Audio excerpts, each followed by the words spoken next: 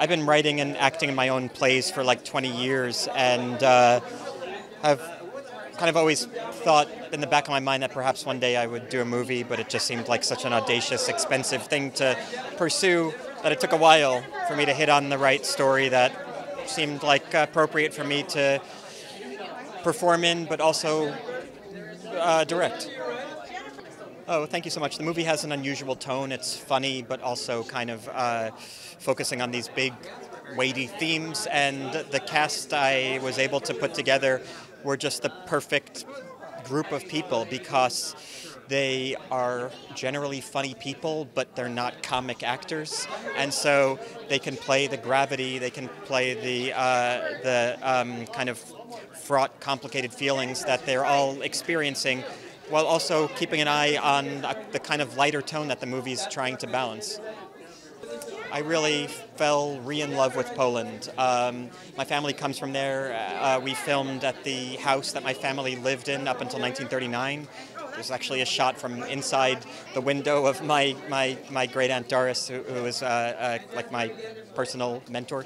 And uh, so it was really autobiographical and special. And on the other hand, it was also uh, I was also there as a tourist and getting to see these incredible cities, uh, travel the countryside. Um, so it felt at once that I was visiting something foreign and also something very personal. Um, yeah, early on in writing the script, I decided I wanted it to all be scored by Chopin, who's a Polish composer. And so I wrote the scenes to the specific pieces that play in the movie. I would play this pieces on set so that the so that the crew and the cast understood the pacing of the scenes and what would be playing underneath the underneath the various sequences, so that we all felt like we were part of this thing that was already uh, emotional. That it wasn't just this intellectual exercise of figuring out what the scenes would be, but actually this emotional, visceral experience as well. I wanted to do it. The, the simple, really boring answer that you hear a lot of, the script. It's a script. It was a brilliant piece of writing, I thought, and um, I immediately understood who this character was by just reading the first couple of pages of the two of them having dialogue. I felt like I could understand uh, the history of these two. I felt like I, it was built into just the first little bit of dialogue. I went, oh, I, I can visualize their past. I can feel it, and I kind of know who this guy is. And then, but or so I thought, because I'd, as, as, I'd read on, and I feel like I had a good grip on who this character was, uh, he would respond with something completely surprising. That would make me laugh out loud and went like, "Oh, I want to go in and play this guy who is often surprising, and I think he himself doesn't know how he's going to respond to something. The people around him don't know if he's going to come in hot or if he's going to be very gentle and nice about something. You never really know. And going in there and playing, I wanted to make sure that I wasn't going to like prepare ahead of time because this is not the kind of guy who thinks before he speaks and not know what the temperature is going to be until we're in there doing it, you know? And that was a lot of fun to get to do and to get to do it with the writer who was sort of willing to go like, yeah, let's play. It's pretty great.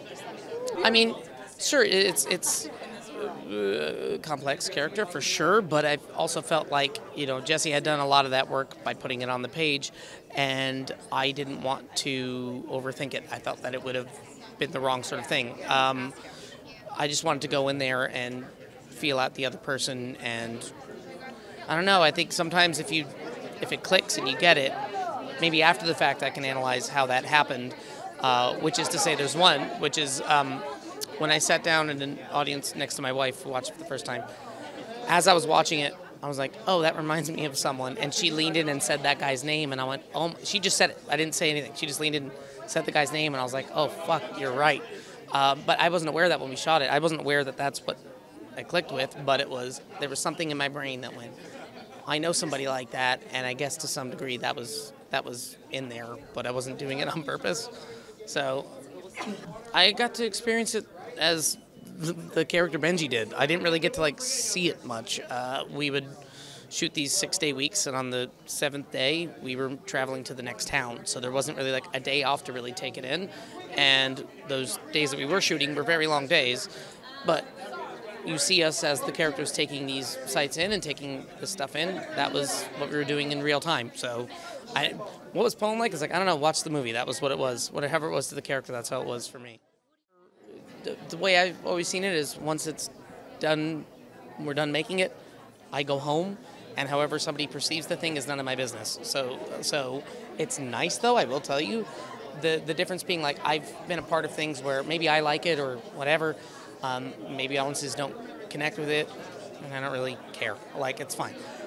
But there's something nice when you put in this much work into something and you really care about it. It's nice when it connects with people. It is. Um, I would have been proud of the film either way, but it's nice to be getting a positive response wherever we go. It feels it feels that way too. Like I said about uh, you know my wife coming to see it. Like she's seen it three times and uh, she was supposed to come tonight, but I was like she couldn't. But I was like, you don't have to sit through it again. She goes, no, I want to. And I'm like, that's nice. I've been with her for 13 years. She doesn't always do that. You know, she likes things I'm in, but she doesn't always like, you know, want to see it again. That's weird. No, it says something.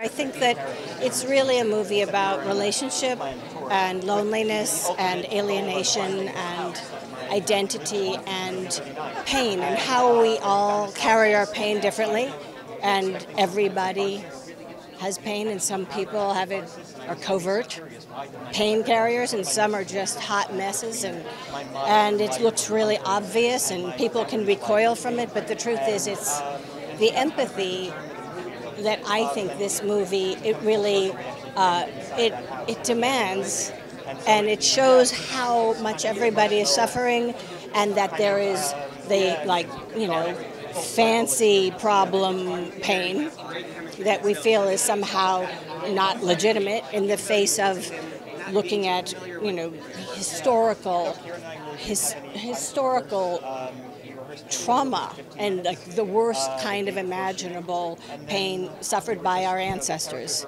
And so the idea is life is full of pain and joy and connection and disconnection and alienation and kindness and hatred and horror and it's just it's just this mu- this movie is so it's so much about it's a human, beautiful movie about what it is to be alive. And I believe that in this relationship within this tour, uh, you know, I believe I've come into this tour from a after a 20-year marriage, and my life is just blown up, and I kind of don't. I've, I'm in pieces, and I don't know who I am anymore. Except I know that I used to be this other version of myself, and I am trying to find my way back. And so I've gone on this, excuse me, I put myself in this tour to retrace, you know, what my mother, you know, when she was a young girl, she fled the camps. And so I go there hungry for connection, hungry to be seen. And I meet Benji, who's played by Kieran, and there is this instant connection of he sees me, I see him. My mother energy is just like I am a mother. I am a mother, the character's a mother, and that mother energy when she sees him and his pain, I think it, she just really wants to help him manage it and also not deny it and identify with it and make him feel less alone and he makes her feel less alone. So it's kind of it's it's a lot of words to answer you, but that's how I feel about it. It's like a, a tapestry of humanity, and we're all in this really stressful situation because we're all these strangers thrown together in this kind of forced intimacy, and then all of a sudden, we are looking and experiencing what it's like to be in a concentration camp. And I think that brings up, it breaks everybody open. Everyone's heart is broken open a hundred times, and also the amount of humor and love and tenderness and care and neglect and all of the things that make up this beautiful life that we get to live. Uh, well, so I play James, who is um, the tour guide uh, for the group uh, as they travel around Poland and learn about uh, Jewish history uh, within Poland. Um, and I guess, you know, when I first talked to Jesse about James, he sort of described him as somebody who has zero bad intentions. He's not himself Jewish, but he is passionate about this history and he really wants to educate the group and to, you know, um, there's no, there's like not a bad bone in his body, and so I think that was the main takeaway for me was that he's a very earnest, innocent creature, and uh, as the film plays out, Benji, the character that Kieran plays, he kind of is so raw and honest and unfiltered with everyone, uh, and sort of makes his mark on each of us, uh, sort of by turns. And for Jesse's character, David, that's kind of fascinating but also frustrating because you know um, Benji, for example, with James, he kind of starts questioning his methodology. He's like, "This tour is so cold. It's full of facts. It's too much information. It doesn't feel real. Shouldn't we be more emotionally connected?" with you know with the stuff that we're talking about uh, and rather than sort of offend my character it almost seems to break him open and he sort of starts to almost fall in love with the guy for it and he's grateful for it